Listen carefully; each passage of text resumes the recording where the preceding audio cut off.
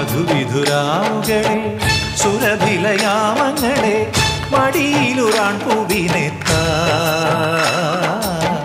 മധുവിധുരാവുകളെ സുരഭിലയാമങ്ങളെ മടിയിലൊരാൻ പൂവിനെത്ത. ആനയും പശു ഒന്നും വേണം പറഞ്ഞില്ലല്ലോ ഒരമ്മുവിനെ താന്നല്ലേ പറഞ്ഞോളൂ എന്തായാലും കൊള്ളാം. പിള്ളേരുടെ മനസ്സിലിരിപ്പൊക്കെ കൊള്ളാം. ഒരാഴ്ച കൊണ്ട്.